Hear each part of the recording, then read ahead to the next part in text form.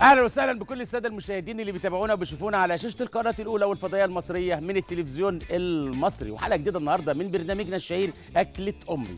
أكلة أم النهارده وإحنا قاعدين بنتابع القناة الأولى كده والفضائية المصرية في أنحاء العالم. بنستمتع نخش المطابخ العالمية. النهارده معانا المطبخ صيني والطعم الصيني والتوابل الصيني ولكن بخفة دم مصرية. يعني إيه يا مغازي؟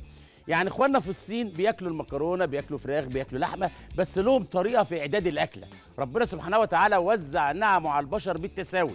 معانا النهارده الرومي هو الصينيين بياكلوا رومي؟ آه. معانا النهارده صدر ديك رومي لطيف وحلو وزنه يعمل تقريبا كيلو وربع الصدر لوحده يعني مش الديك.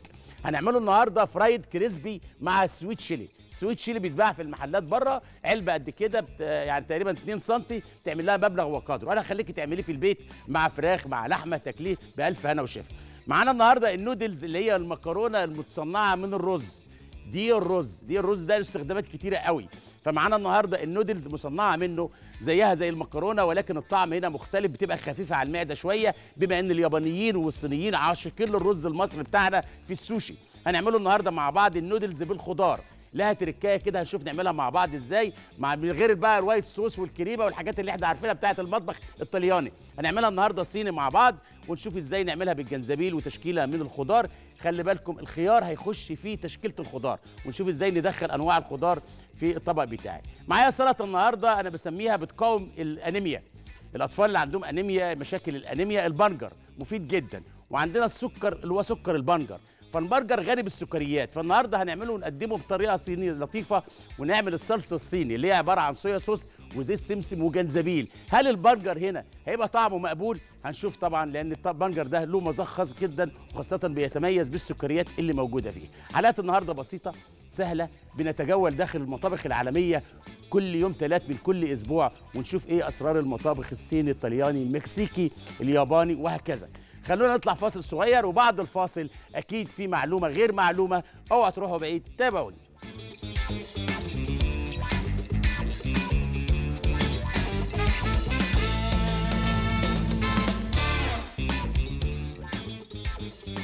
ورجعنا لحضراتكم بعد الفاصل للنهاردة. المطبخ مميز شوية. أنا بحب المطبخ الصيني والياباني عموما يعني. سهل طبعا في الإعداد والتنفيذ. تلاقي الحاجة كده مزمبلاس متحضر شوية. هو متعب شوية في التحضيرات يعني.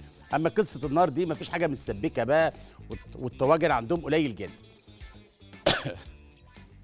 خلونا نطلع نبدأ الأول بأول حاجة إزاي نعمل صدر الديك الرومي على الطريقة الصيني. آه إخواننا حبايبي اللي على ال social media صدر الديك الرومي على طريقة المطبخ الصيني. معانا ديك رومي صدر كبير مش لازم نجيب ديك رومي وزنه 5 كيلو. معانا soya sauce زيت سمسم جنزبيل طازة توم طازة آه وطبعا شوية توم طازة كمان وعصرة الليمون بتاعتنا اللطيفة وشوية نشا. حلو الكلام. ومعانا طبعا ال crispy بتاعنا دي الذرة. الكريسبي بتاعنا دي الذرة اللي هنعمل فيه الخلطة بتاعه الكريسبي. ممكن إن إحنا نعملها بقسماط بس أنا مش حابب بقسماط. هي الخلطة دي يا عم الشيف دي رقائق الذرة المطحونة الناعمة. حلو. المطبخ الصيني بريء من الكزبرة والكمون. الكزبرة والكمون. ممكن ندخل كزبرة خضراء فيه آه. أما التوابل العربية المطبخ الصيني مش مش بيحبها. هم مش بيستطعموها. زي إحنا كده قليل جدا لما نستخدم الصويا صوص. واستخدامنا للصويا صوص من يعني من مش من بعيد قوي من قريب. بدأنا نستخدم الصويا صوص صلصة المحار السويت شيلي الحاجات كلها اللي إحنا عارفينها ديت السكريات في الصلصات بتاعتنا وهكذا. صدر الديك الرومي المحترم ده كده معايا. طبعا بنشيل الجلده من عليه بالشكل ده كده. وتعالوا مع بعض نقطعه ونتبله على الطريقة الصيني. ما نخليش فيه طبعا عظم بناخد العظميه دي كده. طبعا انت ممكن تشتريه من عند الراجل بتاع الفرارجي أو محل الجزارة. مش لازم تجيب ديك رومي وزنه 5 كيلو و6 كيلو ويقعد في الفرن 10 ساعات على ما نسويه يخلص أنبوبة البوتاجاز. حلو زي ده كده أهو. أخليه كده من العظمة دي اللي هي القروشة دي كده أو الدبوس بتاعه. وآخد اللحم ده يا عم الشيف ونتبله على الطريقة الصيني. ناخد الموزة بتاعت الديك الرومي ده كده هو الديك الرومي فيه موزة؟ آه أهي. شايفين؟ ناخدها نقطعها بالشكل ده كده. سلطة الكرنب بنجيب الكرنب نقطعه. جوليان شرايح. وناخد كمان الحتة الجميلة دي كده. بتاعت الديك الرومي اهي الناعمة دي كده نقطعها بالشكل ده كده.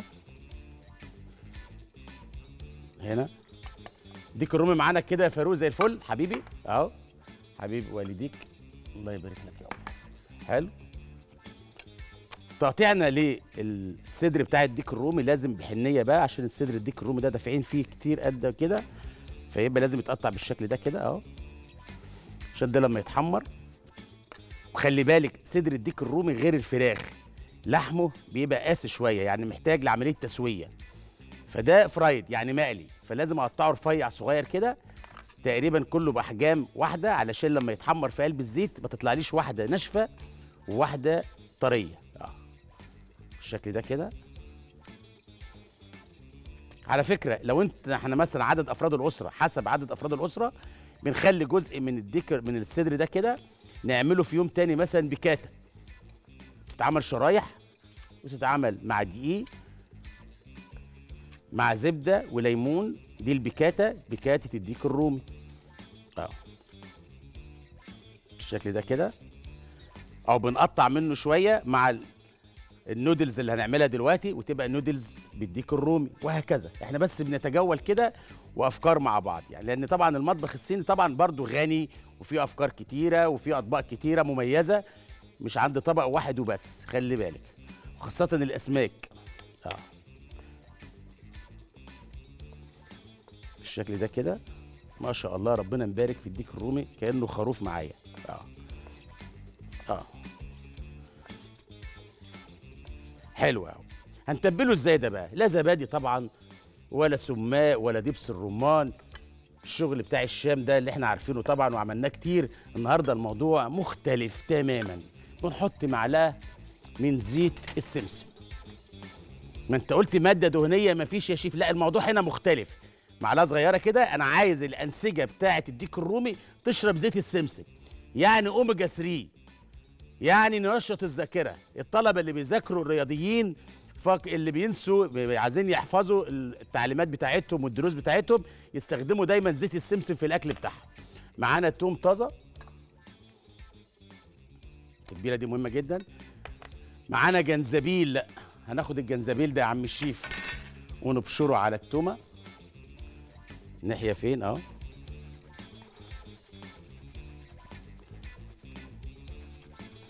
حلو. والله ريحته حلوة قوي الجنزبيل الطازة. ده يعني ممكن يكون سعره غالي شوية نفس سعر التوم بس خليه دايما عندك في التلاجة. مشروب الجنزبيل بالقرفة كلنا عارفينه ده مشروب شتوي. إحنا في أيام الصيف مفيش مشكلة بس ممكن تحط حتة كده صغيرة مع أي عصير بتعمليه لاولادك حلو قوي الصويا صوص. لازم الأنسجة بتاعه الديك الرومي تشرب الصلصة دي. مش هنحط ملح. طالما حطينا صويا صوص ما نحطش ملح تماما ونقلب دول كلهم مع بعض. آه. توم طازة جنزبيل طازة صويا صوص معلقتين ومعانا كمان معلقه زيت سمسم. أصبحت إن الفراخ هنا بتتكلم صيني بس بخفة دم مصرية. النشا هنا بقى له دور كبير قوي. آه. هو اللي بيثبت الخلطة دي كلها مع الغلاف الخارجي للديك الرومي. ونقلبهم كده ونخليهم على جنب. إيه اللي هيحصل بعد كده؟ وهنكمل مع بعض. الكلام ده تقريبا بعد 20 دقيقة من التتبيلة دي. آه. آه. الله هو ده. شفت الخلطة دي؟ زي الفل. تمام. هنخليها على جنب. خلصنا منها. بالشكل ده كده. ونكمل مع بعض إيه يا شيف؟ معانا رقائق الذرة. بتجيبيها بتطحنيها بالشكل ده كده. وبتبدأي إنك أنت تغلفيها برقائق الذرة وتحمريها في قلب الزيت. بس الكلام ده مش دلوقتي. الكلام ده بقى قبل تقديم السفرة مباشرة. يعني بتخليها في قلب التلاجة لو الجو حر عشان فيها توم وجنزبيل وتستخدميها من هنا على رقائق الذرة المطحونة الناعمة. لغاية كده زي الفل. ممكن على فكرة حاجة بديلة تانية تحطها في دقيق. بس في الحالة دي هنستخدم مية مع الدقيق علشان تطلع معايا كريسبي. أما مع البقسماط مش هنستخدم مية. دي الطريقة السهلة البسيطة. آه بالشكل ده كده. أنا مش هشتغل دلوقتي خالص في دي خليها على جنب كده. عندنا الفراخ نبدأ في تحميرها. إيه الأخبار؟ نجهز الزيت بتاعنا وناخد الفراخ دي كده ونروق الكاونتر بتاعنا زي الفل. واحدة واحدة كده عشان تعرفوا جمال المطبخ الصيني أو الياباني. الاتنين ولاد عم والاتنين مدرسة واحدة. إخواننا اليابانيين كل يوم يفطروا الرز المصري بتاعنا ده فطار غدا عشاء. زي طبق الكشري عندنا ده كده. آه. الرز يتعمل إزاي؟ السوشي. الرز طبعا المصري ده بيتسلق. معلقتين خل الرز. وبعد ما يتسلق كويس بيتحط في عملية التبريد ولازم يستوي جامد علشان يبقى معجن. عموما من الآخر يعني انت بتبقى عجن الرز دلوقتي بتقول الرز مش هاكله. وبعد كده يخش على مرحلة التبريد ويتعمل السوشي بقى. سوشي بخضار سوشي باللحوم المجففة لحوم مجمدة ايا كان. ولكن إحنا في مصر هنا مش بنميل قوي للأكل ده إلا إذا سافر وجربنا الأكل ده. ولكن أنا بحب السوشي مع اللحوم المستوية. إذا كانت فراخ مستوية سمك سلمون مستوي آه. آه دجاج مستوي وهكذا. فطبعا معانا الدجاج أهوت زي الفل. تعالوا نعمله مع بعض كريسبي. آه وإحنا واقفين مع بعض زي الفل. آه.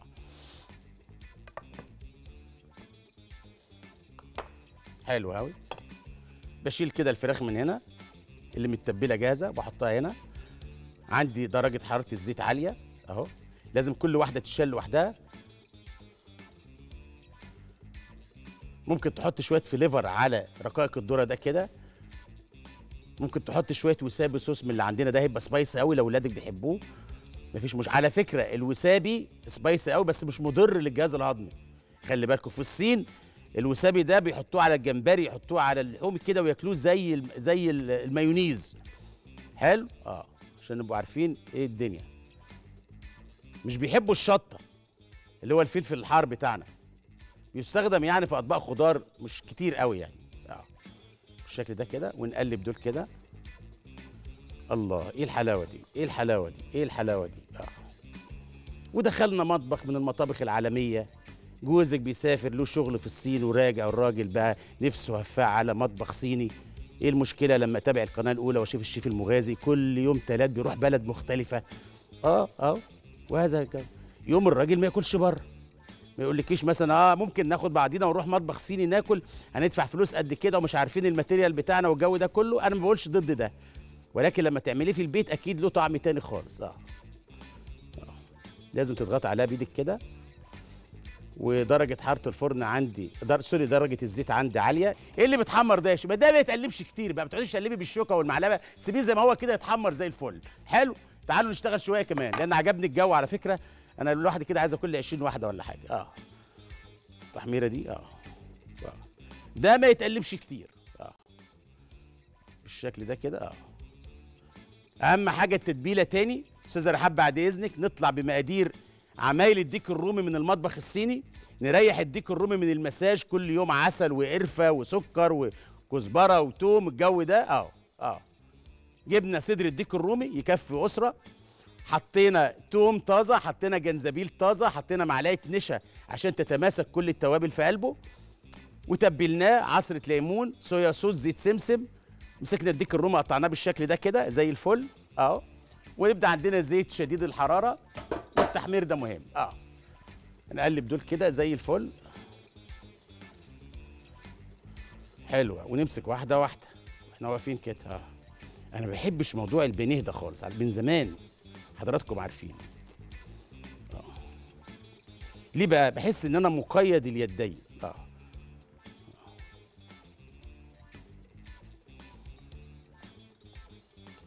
حلو. زي الفل كده.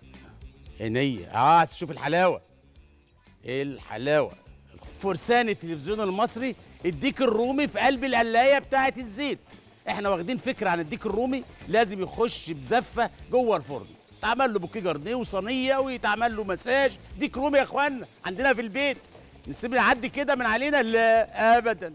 لازم ياخد البوكيه الجزر والكرفس والبصل والثوم ومعلقة العسل والقرفة ويتعمل له مساج من الداخل والخارج. النهارده جبنا صدر الديك الرومي زي الفل اتقطع بشكل لطيف متساوي. حمرناه عملناه كريسبي. إيه الحلاوة دي؟ إيه الصورة الحلوة دي؟ اهو زي الفل. ده على فين يا عم الشيف؟ هو ده. آه. ده بقى عدله إيه؟ ممكن نقدم معاه مايونيز كاتشب. بس دي فيه صويا صوص وجنزبيل وزيت سمسم. ما تيجوا مع بعض نعمل سويت شيلي كده مع بعض بطريقة سهلة وبسيطة هتعجبكم. حلو؟ هنعمل هرم اهو من الديك الرومي. بسم الله. ده صدر ديك رومي شايفين ملا طبقين. اللهم صل على كف العيلة والجيران والحبايب وكل الأسرة. آه. قطعة من دي زي الفل. نشوف مقادير السويت شيلي يا استاذه رحاب بعد إذنك. عشان نعمله في البيت وما نشتروش من بره. كاتشب. عسل. ويجعل أيامنا كلها عسل. جنزبيل توم ماء مغلي زي اللي معايا ده كده. حلو الكلام؟ اهو زي ما كانوا ومقادير السويت شيل على الشاشة. إيه الحلاوة دي؟ إيه؟ فرسان التلفزيون المصري. حلو قوي تمام. تعالوا نعمله مع بعض كده. هعمله بطريقتي. وده اختراع. ما هوش بقى الشيف حط كاتشب والمفروض يحط سكر وهكذا لا خالص. معانا فلفله حلوة. زي الفل تمام. آه. والطاسة بتسخن على النار كده. ونحط التوم والط... التوم الجنزبيل. ما نستناش عليه لما يتحمر. خلي بالك. ده ما يتحمرش خالص. بالشكل ده كده. بنحط الفلفلة الحلوة. بنحط الكاتشب. بنحط العسل. ويجعل ايامنا عسل أهو تقليب سريع كده أهو شايف اللون ده كده أهو شفت اللون بيطلع إزاي؟ واحدة واحدة أهو أهو. سويت شيلي يعني حاجة سبايسي كده محلية ارفع إيدك أنت مصر أهو زي الفل. شوية شوربة اللي أنا عاملها من شوية أهي. زي الفل. تعالي يا بصلة. مش عايزك أنا مش عايزك خدت الطعم بتاعي خلاص. ونقلبهم كده. وتعال ناخد معلقتين نشا حلوين كده زي الفل. آه معلقة خل صغيرة. وجود الخل هنا ممكن يتحفظ يوم اتنين تلاتة. الخل بيخش في عملية الحفظ جاية من تخليل. حلو. معلقة نشا صغيرة. أنا عايز اعمل السلطة دي سريعا كده وأنا هستخدم ال- السويت شيلي في السلطة بتاعتي. خلوا بالكم فعشان كده أنا بدأت بيها. بدوب شوية النشا دول كده سريعا. بس خلاص. وننزل ناخد قوام للسويت شيلي. آه. وإحنا واقفين. آه. زي الفل. دابوا كده تمام. لا يا عم كريمة لباني مين يا غالي؟ هي أي حاجة بيضة كريمة لباني يا فاروق؟ كريمة لباني دي كريمة لباني دي في المطبخ الطلياني. شايف القوام ده كده واللون؟ آه آه آه آه. بس خلاص نشيل كل ده من هنا. حلو قوي وتعالوا مع بعض. نقدم الصلصة الحلوة دي كده. أنا بحبها مع الفراخ الكريسبي.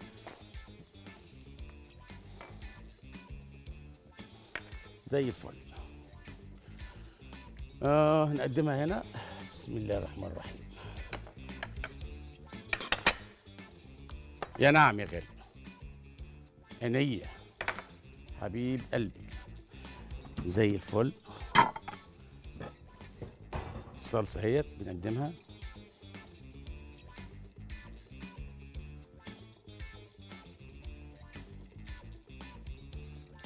إيه الحلاوة دي يا شيخ؟ إيه القوام ده؟ طبعا القوام ده دي دلوقتي في درجة حرارة.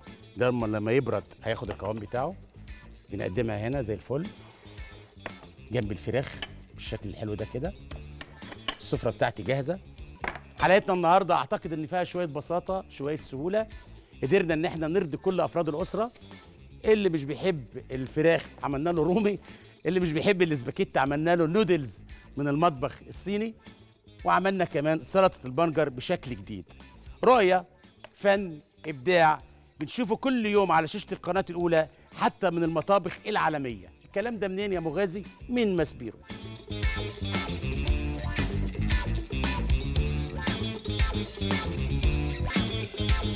you.